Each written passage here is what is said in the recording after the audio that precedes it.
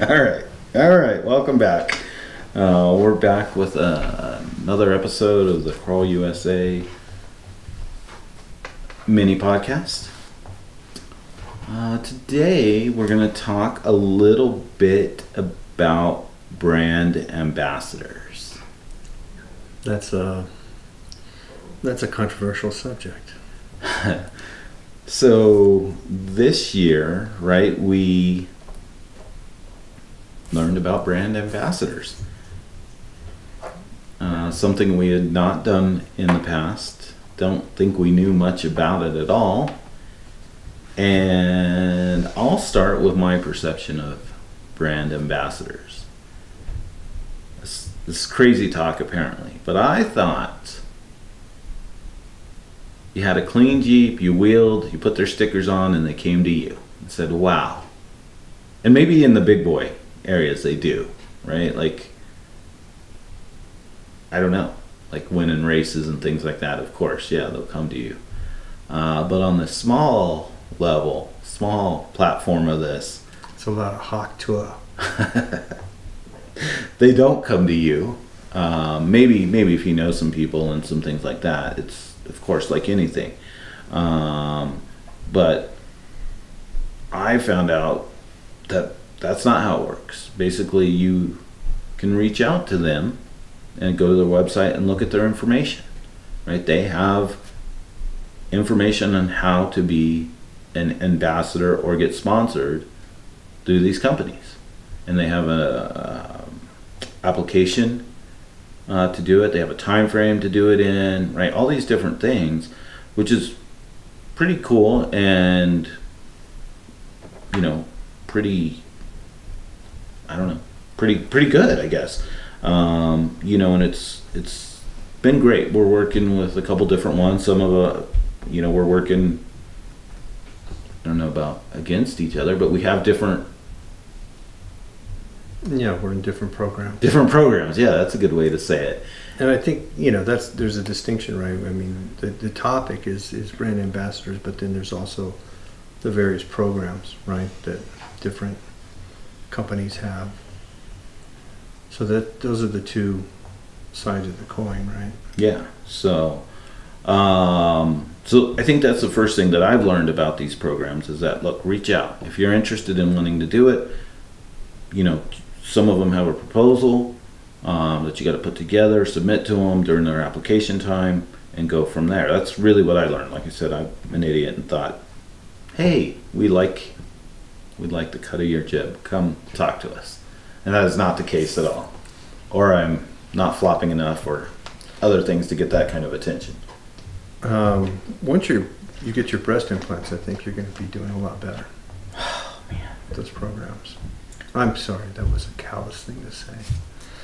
It's very personal. I shouldn't have brought that up. Um, well, you know, and, and not all the programs are the same. That's one thing we've learned is there's a lot of a lot of different angles, right? Um, you know, some are, frankly, I think just a way to sell product, right? Um, you know, you're you're the ambassador. Here's your discount, and you know, here's this here's the stuff you're gonna buy. What are you gonna buy? Um, and then there, you know, there, there's a range. So, and you know, it goes from that to being really um, significant discount with not a lot of demand.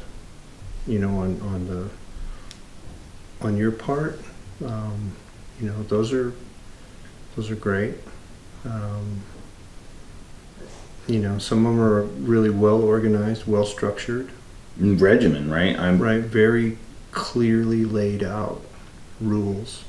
You know, so the expectations for what both sides are bringing to the table are very clear.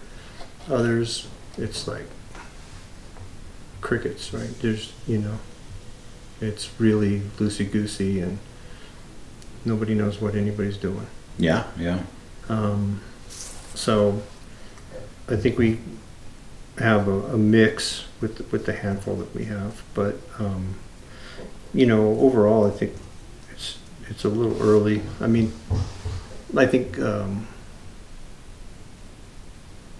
it's it's hard to tell after one season. Maybe you know there might be a couple that I'll try to continue with, and a couple that I won't. Yeah, yeah. Um, yeah, I, I think the the couple that I have, I'll, I mean, one of them, I'm definitely going to try to continue to be with them, whatever it takes, right? Um, because their their program is pretty significant for what we do. Um, Yeah, I mean, that, and that's that's really an important thing, right? Is it something that really helps you, right? Because that that you know that feels good, right? You, you're getting a, a very uh, tangible benefit from it, you know, and so you want to work hard to you know promote it, and when it's a product that you would promote irrespective of right, Sponsorship. regardless. Yeah. um, then it, you know, that definitely doesn't leave a, a bad taste in your mouth. Right. And I think, you know, the other one I'm with, I think pretty happy with the way it's going. It was kind of a shaky start, not on their part, but on mine. Um, but I've, I really like the direction that it's gone now, and I think it offers some different benefits than some other ones and more of a long term benefit with what I do. So, I mean, you know, I'm, I'm pretty happy about that. And, you know, I, I'm interested to see what year two is going to bring on if there really is an application and a proposal again, or if it's like you did the past year, do you want to continue type of thing. Um, so we'll see about that. That'll be pretty interesting. Um, one of the things I have on here is if you were in charge of one of these programs, would you do anything different from what you've seen between our two, maybe? Um, I mean, the two that we're in that are in direct competition.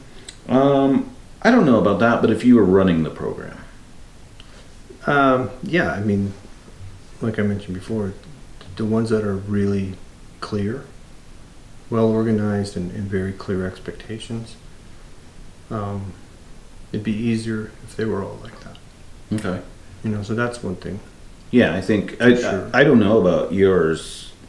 Is yours very clear? The one we're competing against, if you will, is that one very clear, laid out, and what you Mhm. need to do? Oh, okay. So is mine. Mine's Yeah. very. Crystal clear, like has a like a like a guide, But do they like a booklet. do they come and look? I guess because like mine is based off. If you do this, you get this. Right. Yeah, mine um, that that's in competition with yours is a little different. I have to submit, right? Like every month. Here's here's what I did to hold up my end of the bargain, and then with that, um, I get credit for that work. Oh, okay, okay. So I have to do mine. Mine's either weekly, bi-weekly, and then they throw out a big challenge monthly or every two months or something like that. But mine's like I have to do it weekly if I want to get the benefit of it, which I mean I'm fine with. It. I mean for me it helps because I it just gives me a schedule. I'm like, all right, I'm on schedule. You know, and then I have another one that's you know very casual. You know, so it's at this point neither good nor bad. Um, and then another one that's just really, like I said, it's I think um, for some of these these brands, it's like you know, here's a discount code, and you know you buy their stuff. It's just you know. I don't know if you could, you know, sometimes it feels like you could just call them on the phone and, Ask for it. and ask for the discount and probably get the same and not have to, you know, there's there's no interaction, there's no back and forth. Um, you know, so Yeah, which is crazy. My my best one is very loose like that. It's crazy. Like I don't have to do like there's no set schedule. And luckily I just use their product. We love their product and you know, it's it's been great, but it's it's been pretty wild like that. And you know, I get it. Like I mean, they have people that they're paying to run these programs, but you know, we're small fish. right? Compared to these people that are winning real races and you know doing that kind of stuff, and even even like the the We Rock stuff, right? Those guys are on the next level using their products and have their vehicles wrapped and different things like that. Um, you know, so it, it's different. I get it.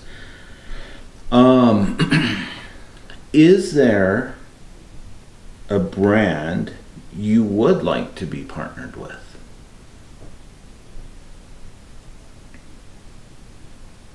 Yeah.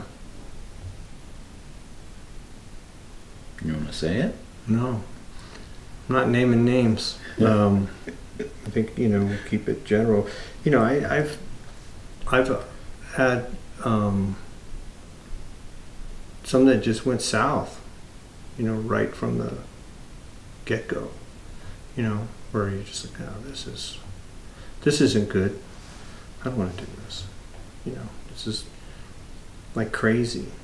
Like you know, like you're basically paying them Mm. to be an ambassador for them. Mm. You know, Yeah, yeah, I know what you're saying. Really weird, right?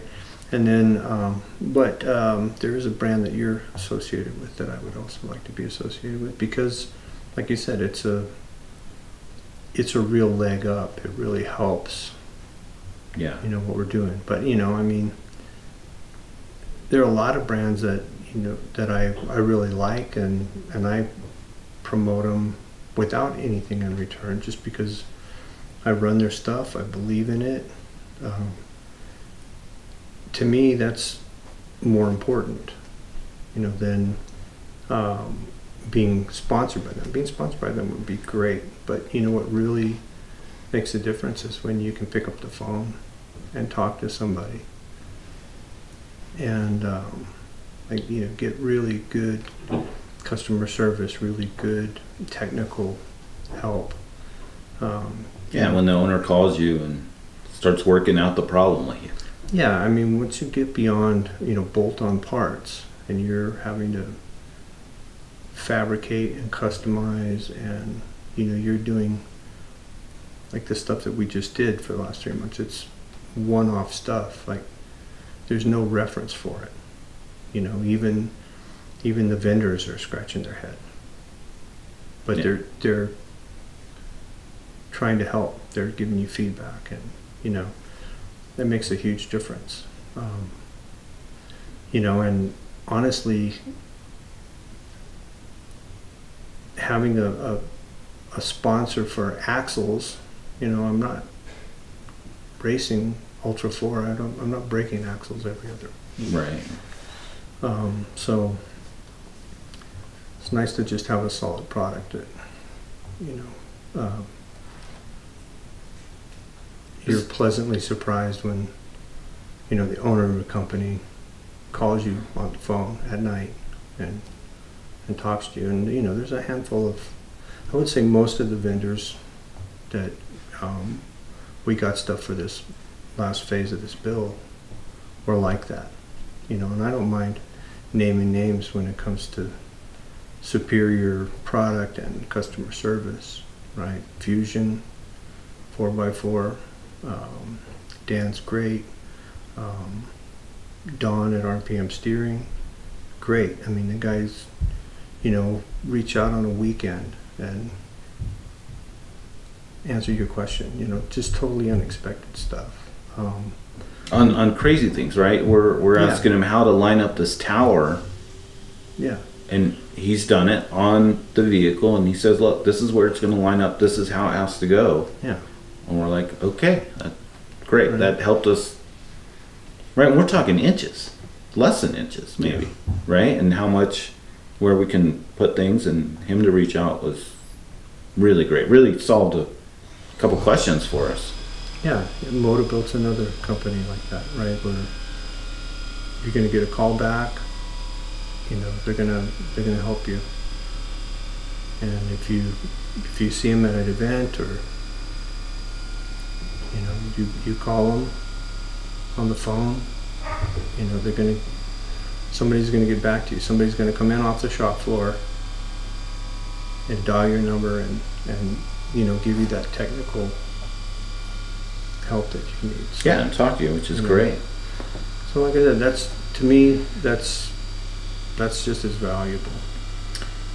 if you if someone was just getting into this kind of like we were the beginning of the year um, is there any advice you would give to anybody looking at doing these things what, do you have a dentist going on What's, a little teeth drilling I think that's the compressor out in the garage. oh really oh, okay there. look we need air on demand it makes So- sense So also always something. Um, advice. Um, well, yeah, make sure that you have uh, some room in your in your plans for whatever product it is that you plan to um, endorse because um, you know there's there's going to be some cash outlay right there um, in most cases they're not giving the stuff away so you get a discount but you know if um, if if you're if you're going after a company and, and you already have all the stuff that they sell you already have it all right? You can make content off that but if if you have it, an investment in another brand you know are you going to swap out all your stuff um, if your stuff's welded on then there's a significant amount of work involved too in, in, in changing out those parts. And you know there's a lot that's a lot to go through just for um, you know the I guess the advice should be it should be a symbiotic relationship right? You you should be getting something out of it and they should be getting something out of it. That's that's what'll make it work. You know when it's one-sided where all you get is a discount code and some hashtags and you need to buy a bunch of stuff. Um, you know unless it's stuff you really need the discount's deep you know. Maybe not worth jumping through the hoops. But um, you know i don't know like i said it's early um, with you know it's only three or four under my belt you know and only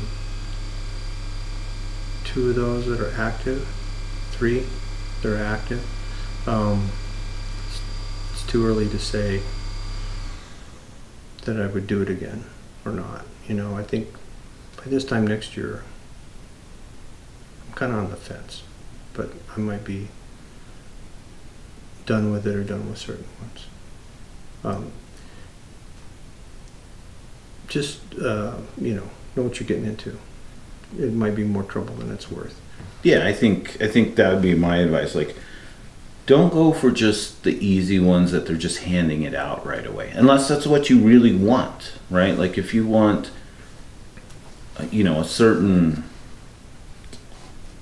I don't know, I'll, I'll just say, you know, a certain brand of something, and they're they've made it really easy. Great, go with it. Um, but there may be a better quality or something like that that you could look into instead of just jumping on the first one that you you see, and we've seen people do that, and then have and then lay out their Jeeps with these brand logos, and then have to change because they went with a better quality, I'd say, or better sponsorship or whatever it is. Um, and I mean, I get you get into it, I guess, that way, and can say that you have done that, but I think seeing it from this side a little bit now is you know, if it's something like you said, if it's something you want and you like, go for that. You know, don't just jump on the easiest one. And then especially commit to a whole graphics program to it and then have to end up redoing that. You know, it's just kind of crazy, but you know, I think that that'd be my advice for it. Um, buyer beware buyer beware. Um, you know, and it's got to go both ways, right? I think that's important. Enough, enough that you're just not spending money to say you use their name. That's crazy. Yeah, and I, and I don't mean to knock it because there are some very good programs too, you know. Um, but the ones that are, you know, geared really kind of at the accessory level, you know, kind of cheap stuff and Yeah. um, skinfluencer kind of accounts. Yeah. Right. I mean, if you need, you know, cup holder and air freshener and stuff, and Right. Great. and a flag with your Mm. brand on it, you know. Yeah, but uh, you know, and as you as you evolve, you'll see, you know, the the products that you're going to use. That's the one to look into, I think, right? And look, you can change. It's okay.